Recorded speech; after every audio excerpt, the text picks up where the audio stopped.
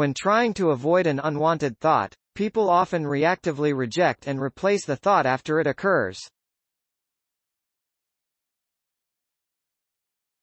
Trying to stop thinking unwanted repetitive thoughts is a familiar experience to most people.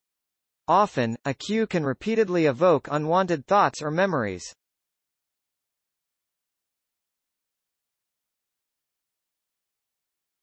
In addition to the need to expel unwanted associations from their mind, people have to make sure these unwanted associations do not keep coming again and again in an endless loop, and do not become stronger and stronger over time. In the new study, researchers studied how 80 English-speaking adults came up with new associations to common words. All participants viewed words on a screen and had to type an associated word. People in one group were told ahead of time they would not receive monetary bonuses if they repeated associations, so they set out to suppress the thoughts of previous words they had input.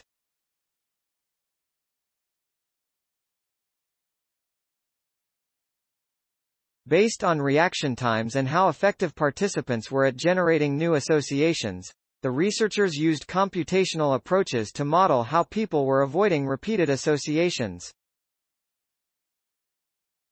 This type of reactive control can be particularly problematic, the authors say, because, as our findings suggest, thoughts are self-reinforcing. Thinking a thought increases its memory strength and the probability that it will recur.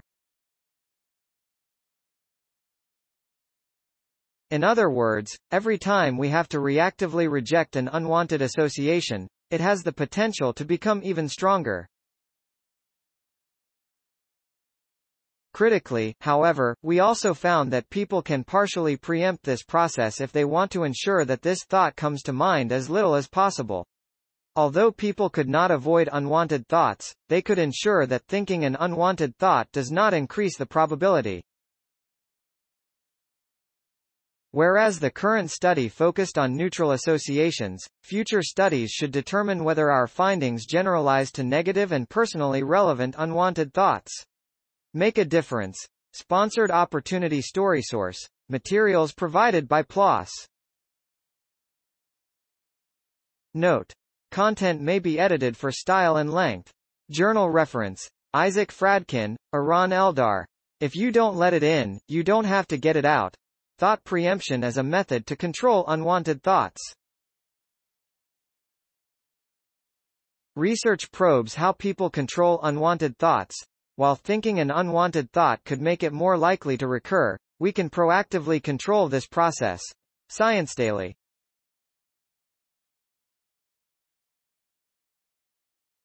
Science Daily, the 14th of July 2022. ift.tt slash efqext. PLOS. 2022, July 14th. Research probes how people control unwanted thoughts, while thinking an unwanted thought could make it more likely to recur, we can proactively control this process. Science Daily. Retrieved July 14, 2022 from ift.tt slash. Research probes how people control unwanted thoughts. While thinking an unwanted thought could make it more likely to recur, we can proactively control this process. Science Daily. Https colon slash slash ift. TT, EAFQXTS, accessed July 14, 2022.